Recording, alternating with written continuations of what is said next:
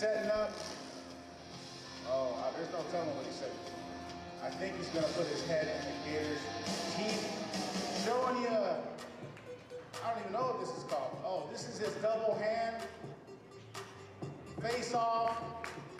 Make some noise, guys. Coming up with original tricks that we haven't seen. Oh my goodness. I can, the degree of difficulty on that thing is ridiculous.